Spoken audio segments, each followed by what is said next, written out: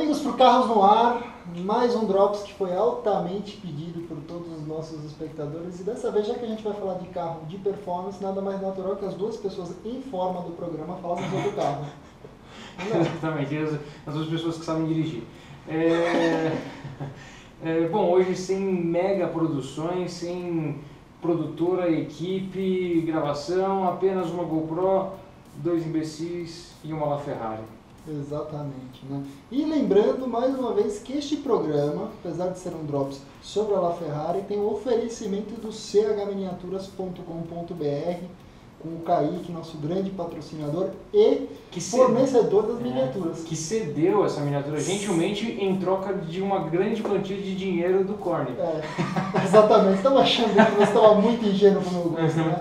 Mas, como de praxe, antes da gente entrar no mundo da miniatura mesmo, vamos falar um pouco da LaFerrari para esse povo, Vamos né? falar um pouco da LaFerrari, Uma a baita tão esperada sucessora da Ferrari Enzo, Exato, foi uma que é sucessora grande... da F50, A que é sucessora da F40, que é sucessora da 288 GTO, que é a sucessora da... 250 GTO. Vai tomar no cu, você gosta a muito de Ferrari marca conhece, hein? meu? mais absurda, histórica e emocionante de todos os tempos. Uhum. Então, vamos lá. É, bom, a Ferrari entra de cabeça no panteão da nova geração dos hypercars. É, tecnologia, motor a combustão, junto com eletricidade. É o primeiro carro híbrido da Ferrari, né? Uhum. E eles já desenvolveram a tecnologia, já prometendo que é meio que o futuro da marca. Não, assim, né? é, parando para olhar friamente para a LaFerrari, e obviamente não tem como falar de LaFerrari sem comparar a AP1 e a 918 Spider. Que é a nova Santíssima Trindade dos esportivos, Exato. dos hypercars Mas- mundiais. O que mais me impressiona na tecnologia embarcada na Ferrari, é, a gente discutiu muito isso lá na primeira temporada, foi uma discussão muito evidente, mas é o quão a- o que está na Ferrari é uma coisa que parece muito orgânica e natural, né? É realmente uma transferência do que vinha sendo feito na Fórmula 1 para o mundo da rua, uma versão adaptada, né? A gente ainda vai fazer um Drops falando exatamente sobre os três hyper- hypercars, não apenas um Drops, mas acho que um episódio, né? Exato. Falando tudo sobre a LaFerrari AP 1918, porque esse novo nível de hypercars tem uma quantidade de tecnologia novas absurda e é legal comparar o que Exato. cada marca fez de tecnologia inovadora. É muita coisa diferente. É, eu acho que a gente vai fazer esse, esse episódio mesmo quando a P1 conseguir completar uma volta no full boost em Nürburgring e a Ferrari ou alguém ceder uma fila Ferrari para fazer, né? Porque por enquanto só o patinho feio da turma, o manquinho pesado foi o que fez, né? O Porsche Né? fez a volta, né? Pois é. E contra fatos não argumentos. Né, Leone? Vamos falar da LaFerrari, que é o Drops Vamos. né? Então, é, como o Corn estava falando, é a junção do motor a gasolina com o motor elétrico. Que motor a gasolina? Vamos pensar o seguinte, a Ferrari hoje, vamos falar de carros de produção em série, o carro mais forte da Ferrari já produzido até então é a F12 Berlinetta, que tem um V12 6.2 de 740 cavalos Uhum. E que é um carro que tem sido muito elogiado pela questão da força, da potência, do torque, que é uma coisa realmente impressionante. É, falam que é um carro que é um prato cheio, né? Que é muita coisa acontecendo, é muita força.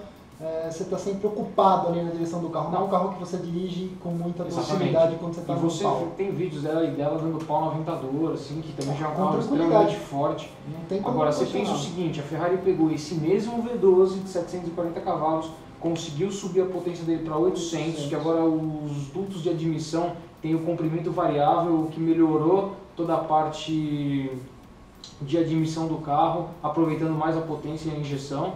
Então, assim, eles pegaram esse mesmo V12, colocaram 800 cavalos num carro de 1.255 kg de peso a seco, Uhum. entendeu? E não satisfeitos, colocaram mais um motor elétrico, que na verdade é um conjunto de baterias que gera mais 163 cavalos. Aí você pega 963 cavalos. Só que não, é só, não são só 963 cavalos, e o torque disso? Mais de 90 quilos. 92 quilos de torque, São né? 71.4 do Uma V12. coisa, sabe o que eu acho muito curioso nesse negócio do torque? Porque pra mim tá claro, o torque da LaFerrari vindo do motor a combustão é cerca de 70 quilos de torque. 71.4. Lá a 6.000 a 5.000 6.250. Isso, bem lá em cima, né? Mas ninguém fala ou explica tipo como é que é esparramado o torque da força elétrica, né? A gente simplesmente eles falam assim, grande parte das especializações das mídias que olha, São mais 20 kg são de mais torque. 20 e tantos quilos de torque aí ao redor da banda de RPM. Porque o que acontece? O grande mérito da tecnologia elétrica é O torque um torque instantâneo. instantâneo, Instantâneo. limpo, né? E na verdade, o que esse torque instantâneo é, contribui para a Ferrari? Até eu estava lendo meio que uma tradução direta, eles falando que esse torque instantâneo que o motor elétrico gera é mais ou menos um movimento de quebrar pescoço, porque ele é absolutamente na hora. E isso, que é, esse torque instantâneo permitiu o quê? O que um motor turbo não permitiria? O alto giro. só o motor elétrico tem o torque de um Honda Civic SI. Bota em perspectiva. É, exatamente. e aí você pega esse torque instantâneo que ele fez, ele conseguiu liberar um motor aspirado para trabalhar Hum. até 9.250 giros. Pensa num V12 Então, girando Eu acho que. a quase 9.500 assim, giros. Apesar de eu fazer sempre a brincadeira de que a LaFerrari não foi para Nürburgring se provar, que a P1 não completa, a vol- não completa a volta inteira, eu particularmente sou um puta fã de carro aspirado. Os caras, ah, Corne, você gosta de tomar pancada dos outros, de tomar pau. Então, mas não, é que eu acho que simplesmente o grande triunfo do motor aspirado é ao mesmo tempo a grande derrota dele. Porque nada pra mim resume melhor o que é um driver's car, um carro focado na experiência, do que a linearidade no motor aspirado. Trade-off é que, obviamente, o torque só vem lá em cima, a potência só vem lá em cima, enquanto isso o carro sobrealimentado já está lá enchendo e dando na tua orelha. Na LaFerrari, o simples fato dela congregar um motor a combustão que é aspirado e jogar tecnologia elétrica, tipo, resolve aquele problema chato do aspirado Mas precisar de giro Tem a qualidade aspirado. pureza. Que é justamente um dos grandes méritos da LaFerrari hoje em termos de reviews, tá? Infelizmente, é, hoje a gente não tem mais a Platinos, que provavelmente a gente veria uma LaFerrari na Com Platinos. certeza. Mas o que eu vejo muito é que o 918 Spider é o produto mais refinado, mais usável, aquele que as pessoas conseguem aproveitar mais todo o desempenho e força do carro, até mesmo na rua. A P1 é o mais racing, Mais mais, visceral, exatamente, tem um barulho dentro da cabine, você ouve as engrenagens, clac, clac, clac, pra tudo quanto é coisa mais espartana, né? Exatamente. E a LaFerrari, por sua vez, é consideravelmente isso- a mais rápida, Uhum. a gente sabe disso. E, consequentemente, acho que no produto final, entre conciliar esportividade, usabilidade e agressividade, ela é o produto mais desenvolvido de todos os três hypercars. Desculpa, mas tem um quesito que você vai falar, ah, né? Mas só a Ferrari tem. É o quesito obra de arte. Que a Ah, Ferrari, Ah. ela é uma obra de arte da engenharia. Parede. Como, como obra de arte da engenharia automotiva, sim. Na parte do design, eu acho que o mais bobinho de se olhar é o 918 Spider.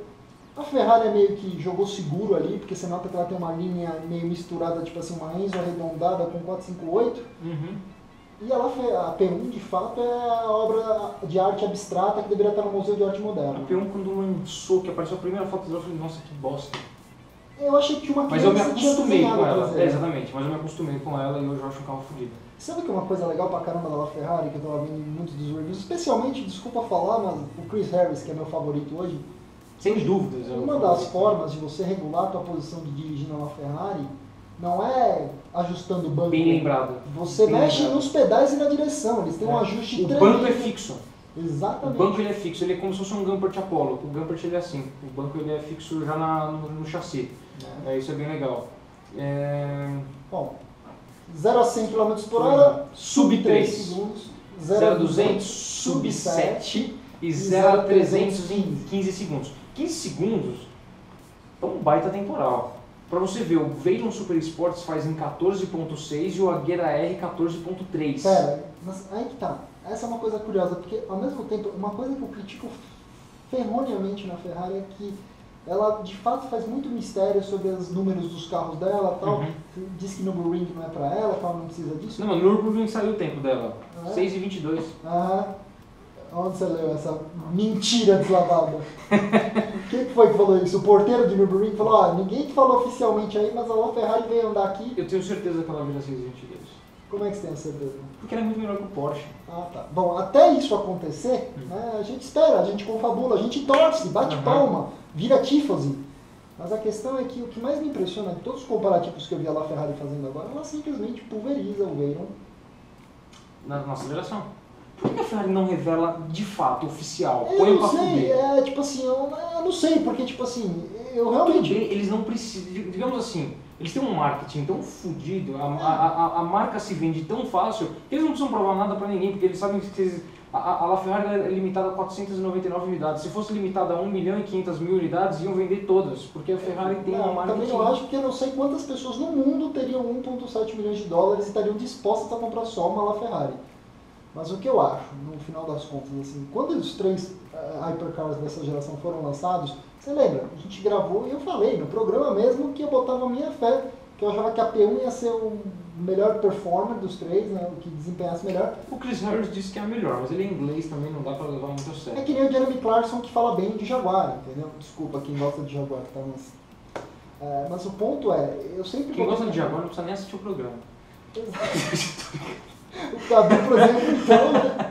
É, mas o ponto é, é, no papel, quando lançaram os três carros, eu particularmente achava que a Ferrari seria, tipo assim, é mais rápida, mais leve. Ela pesa, peso seco dela é 1.255 quilos. É um 1.255. projeto extremamente leve nos tempos modernos que a gente tem. Quando eu olhei pro sistema elétrico dela, tipo, que Perto não... dos não- não- 1640 do 918. Exato. O problema do 918, o 918 é um carro que apela para baterias, certo? A 900, o, o Com La tração Ferrari- no eixo errado, né? não, quer dizer isso. Eu acho assim, tem o grande mérito do 918, por que, que ele consegue fazer tanta coisa com menos potência e mais Porque peso? tem 130 kg de torque, alô? E porque é tração integral, Léo. Esse é o ponto, entendeu? No dia a dia. 0 a 100 é mais rápido. Então, não tem como comparar. Se você quer botar toda essa força no chão, o, o 918 Spider, como carro no mundo de verdade, ele é um produto mais, mais adequado para um ignorante O 0 a dirigir. 100 do 918 ele é impressionante, lógico, por causa dos 130 kg de Ah. torque, por ser tração integral. Ele só não é mais rápido que o GTR. Ah, vamos com calma, né? Pior que isso, só o cara que tá vendendo um GTR com mil Vamos voltar aos dados da LaFerrari. Bom, o Curse, deixa eu explicar como é que funciona o Curse. O Curse, como é que Ah, funciona? exatamente, o eu Quando você freia, isso gera um tremendo de um calor. Esse calor é uma energia térmica que o Curse faz a gentileza de converter em eletricidade. Pensa no- curse? Ah, eu não lembro do significado da sigla. Não, não, não, agora não, não, fudeu. por que você fala curse? Não pode ser cares? Eu gosto de falar Curse, cara. Eu não tô com o Cadu aqui pra me reprimir com o meu vocabulário. Vai ser você, ignorante. Porque pra mim é cares. Entendeu? Porque o ponto é, é pensa numa usina termoelétrica, entendeu? Você queima carvão, você gera eletricidade. Uhum. É o mesmo princípio, você tem calor, vira eletricidade e joga para as rodas traseiras. Entendeu? E o mais impressionante, a LaFerrari é uma tração traseira. Em termos de tecnologia de câmbio, os três hypercars estão no Dupla da embreagem, sete marchas. Tá, só que é o seguinte, é, não sei se você chegou a ver, mas o Cares da, La- da LaFerrari, ele tem um sistema inovador que ele não recarrega apenas com a energia da frenagem. O que, que acontece? O V12 ele está produzindo torque é, o tempo inteiro. Só que em alguns momentos você não necessita de todo o torque que ele está Exato. produzindo. Por exemplo, nas curvas. Então às vezes você está vendo com é, o motor está produzindo muito torque e não é necessário para aquele momento onde você está fazendo uma curva ou então está É verdade. numa retomada, alguma coisa assim. O que, que ele faz? Em vez de dispensar esse torque para os eixos e distribuir para as rodas, ele pega esse torque excedente, transforma em energia e volta para a bateria. Então são duas formas que o, que o Cars da Ferrari Eu- tem de eu- eu tenho uma recarregar. tecnologia é genial. incrível, é incrível. imagina, quando uma que você vai ficar engenharia- sem boost? Por que, que não bota em Nürburgring de uma vez? Ima- Imagina pra Ferrari chegar e falar assim, aí Porsche, encheu tanto meu saco que você tinha um tempo XPTO lá em Nürburgring. Então aí, ó, na tua cara, trouxa. Eu acho que esse carro tem potencial pra isso. Também acho. Mas entre torcer, acreditar no potencial e olhar para os fatos, não tem como negar que hoje o 918 Spider é o carro que, pelo menos em Nürburgring, performa melhor. Em linhas retas, em comparativas fechadas Uhum. ao redor do mundo, a gente sabe que a Ferrari foi mais rápida. Uhum. A pata traseira é um 345 roda 20. Pelo amor de Deus, queimar esse pneu deve custar caro para trocar. Exatamente, nessa hora que a gente tem que invejar o Chris Harris, né? Ah, os sistemas elétricos, da, os sistemas eletrônicos da, da Ferrari. O SC, que é o controle de estabilidade, o ABS e o, F, e o EBD, Clássico é derivado de da, carro mais moderno. derivado da, da Fórmula 1.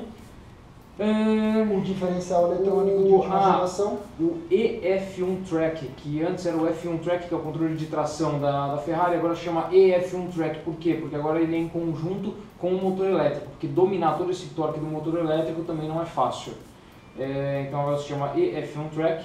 Você tem o EDIF, que é o diferencial eletrônico da, da Ferrari já na terceira geração, que ele mede a todo instante, milhões de vezes por segundo, a posição da, da direção o, a porcentagem do, do acelerador e a potência do motor, tudo ao mesmo tempo, o ângulo de esterço das rodas para saber exatamente para onde que ela tem que distribuir a força para que o carro seja, mantenha a máxima mais tração. um clássico exemplo de um carro que para desempenhar absurdamente depende de uma usina de tecnologia. De tecnologia. capô. Aerodinâmica ativa, que a Todos também eles, né, agora, cara? agora sim, agora Se a gente olha aí, ó, na Huayra, Aventador, É, todas essas lasanhas têm desse novo nível de supercarros, o Royal é pioneiro nisso, né? Exato, que é os flapzinhos, né? que é derivados da aviação. Sistema de freio de carbono cerâmica o mais absurdo que a Ferrari já fez até então. Carro mais rápido que já virou em Fiorano, só vira Ferrari lá, né? Exatamente, né? Poderia fazer um comparativo aí, mas acho que assim, hoje acho que em última instância é a Ferrari mais poderosa já fabricada, é a Ferrari que mais tem tecnologia até hoje, é a mais potente, é a mais rápida. Uma coisa que eu trouxe no nariz quando eu vi o lançamento foi o volante, que eu vi ele meio Quadrado. quadrado. Eu falei, puta, mas será? Mas hoje eu comecei a gostar, porque eu vi que ele pega bem o estilo da Fórmula 1, né? Que é o volante Uhum, quadrado, eu as borboletas gigantes atrás pra você fazer elas reduzidas. Meu, e sabe que eu gosto? insano. E tiraram também, como assim na 458 F12, todas as alavancas de trás. Agora todos os comandos são no, no volante. Você sabe que Imagina eu se gosto? Trazer esse carro de lado, pelo amor de E Deus. não deve ser complicado, cara. Você não deve precisar exigir marcha baixa. Né? Claro que não, em sétimo você sai de lado na esquina. Mas o que eu acho mais curioso é que os hypercars de hoje, né, todos eles apelaram para uma linha extremamente simplista de cabine, né? Sim. A Ferrari, P1, O P1 também, 911, impressionante. Todos eles são meio tipo, você olha e fala assim, porra, O 918 ainda que tem um console muito legal É, aqui, meio, touchscreen, e é. tal. Mas assim, você olha pra dentro da La Ferrari, você fala, tipo, até o Cadu que visitou, aí vocês vão Uhum. ver em breve esse episódio no Amigos por Carros, então não vamos adiantar a surpresa. Mas que viu o carro pessoalmente lá fora, falou, é gozado, você entra dentro, você tem a sensação que você tá numa 458 bombada, entendeu? Mas é Nada que ela foi demais. feita para isso. A La Ferrari, acima de qualquer outra Ferrari, ela foi feita. Lógico, a gente sabe que o público que está comprando ela não é exatamente esse que a, o que a Ferrari planejou, mas a La Ferrari ela foi feita para quem gosta de tocar. É um carro mais absurdo, o carro mais forte, o carro mais potente, o carro mais incrível que a Ferrari já fez. Ele foi feito para ser tocado, porque assim que é a filosofia Ferrari. Foi feito pra ser tocado. Sim, Virou uma mulher. sim. Não vai quebrar meu retrovisor. Não, como diria o Chris Harris, né? Para com essa merda, caralho. Como... Você nunca deixa fazer drift? Não, não com as miniaturas, vai fazer com o carro dos outros. É, o que acontece é o seguinte, né? hein? Puta Não, eu achei muito legal as proporções do carro.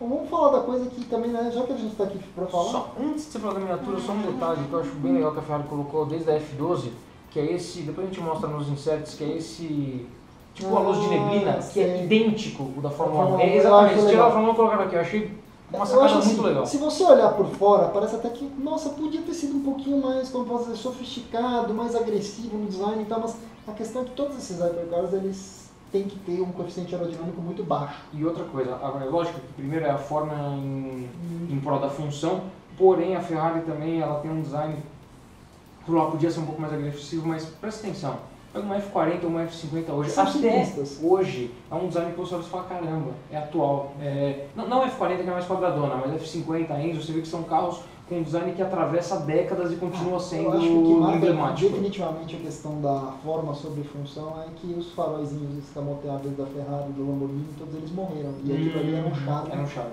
poderoso, na minha opinião. Como eu diria Chris, Ra- Chris Harris, eu andei percebendo que ele está com um novo né, elogio para todos os carros. It's mega. É, tipo, tá Hum. mega. Legal. Bom, Vamos lá. vamos falar miniatura. Vamos, essa é a parte que você cala a boca que você não manja nada, né? Tá bom, posso ir? Não, fica aí que eu vou. Chega aquele momento. Bom, é, essa daqui, como vocês estão vendo, é uma La Ferrari na escala 1.18. Fabricante é o que veio sendo o fabricante de Ferraris nessa escala, que detinha licença até recentemente, que é a Hot Wheels. Hot Wheels que fabrica essa mesma miniatura na linha de entrada e na linha Elite. Essa que vocês estão vendo aqui é uma Elite. Qual que é o grande X da questão quando o assunto é Hot Wheels hoje em dia? A Hot Wheels resolveu que não quer mais a licença para fazer miniaturas Ferrari. Que bom. Não é mais, ela entende que não é rentável para ela pagar os royalties que a Ferrari cobra e fabricar as miniaturas com a margem que tem, então ela chegou para a Ferrari e falou, escuta, pode pegar de volta, não quero mais, não vou fabricar mais. O que, que aconteceu? A Ferrari cedeu as licenças para as miniaturas em completo, pelo menos até onde a gente sabe hoje, para a Burago Emaisto. Isso é bom.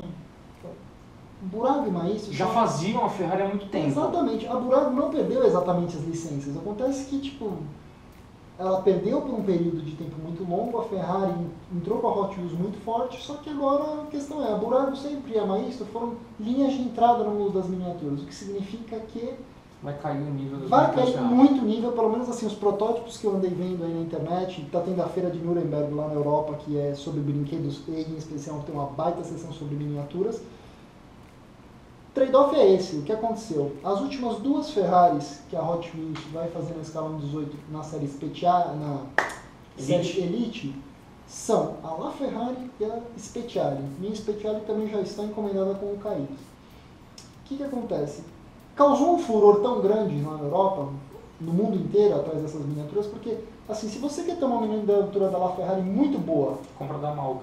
Amalgam, BBR, entre outras que são o quê? Miniaturas resinadas, ou seja, não é uma miniatura diecast. O que é uma miniatura diecast? Que abre porta. Metal abre e que abre tudo. Então, se você quiser ter uma La Ferrari muito pica das galáxias na sua coleção escala 18, você vai ter que apelar para uma dessas fabricantes que faz o modelo resinado, Que é 10 vezes mais caro. custa mais de mil e tantos reais. Então, a última porta de entrada para ter uma Ferrari de qualidade na sua coleção é o modelo da Hot Wheels Elite. O problema é que ela está voando das prateleiras na Europa. Essa não é Elite. Essa é uma Elite. É uma Elite? É uma Elite. Então, e o Kaique, graças a Deus, consegui comprar com ele no primeiro lote que ele trouxe. Você quer comprar uma Hot Wheels Elite lá Ferrari? Você quer comprar? É com o Kaique. O Kaique tá trazendo mais pro estoque dele, tá? E E especial para quem assiste Amigos por Carros e quer comprar sua La Ferrari 118 Hot Wheels Elite. teremos quantas unidades reservadas? Duas vermelhas, duas amarelas e uma preta, reservadas exclusivamente Para Amigos por Carros. cliente do Amigos por Carros. Tá? Como é que funciona? A La Ferrari, à vista, Você lá, batendo um papo com o Kaique, é 500 reais hoje. Se você quiser parcelar, pagar no cartão, via site, você entra lá e ela está 545 reais, tá? Hoje, nesse momento, essa miniatura está vindo para o Brasil, a nova remessa, o Kaique já confirmou para mim, tá? Assim, mas nem tudo são flores. Eu gosto muito porque, assim, eu no meu propósito da minha coleção, eu gosto de ter todos os carros que foram emblemáticos na indústria do automóvel de, da década de 80 para cima. O que sucede é que eu não estava afim de comprar uma miniatura muito cara resinada, eu queria um diecast da Ferrari Uhum. mesmo, porque é a maioria da minha coleção, né? Então, em termos de nível, ela está no nível da Auto Art? Não, não está. Nem perto. Está no nível até da Kyosho, da Mini Champions? Também acho que não. Eu acho assim, as dimensões da miniatura são muito próximas do carro de verdade. Ela reflete muito bem o que é uma pro- Ferrari. não, a proporção dela é. Os aros das rodas são legais, a proporção da Se olhar ela assim, carroceria. de frente, você vê que, meu, puta, Não, é... Os detalhes do cofre do motor são muito bacanas, o interior é bacana, Aqui, entendeu? É tudo bacana, mas sabe onde eu acho que falhou a Hot Wheels em especial?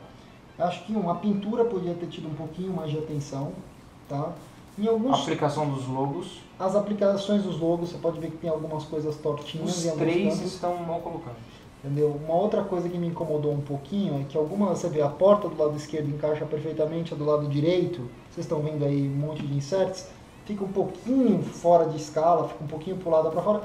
Como eu posso dizer assim, são erros que eu sinto que a Hot Wheels cometeu por uma razão.